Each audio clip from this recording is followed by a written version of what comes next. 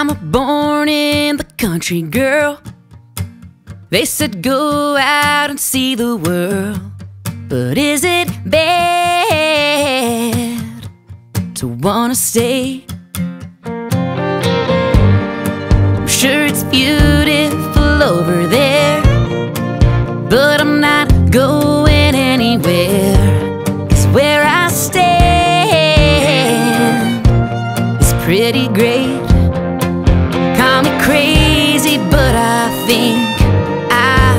stay.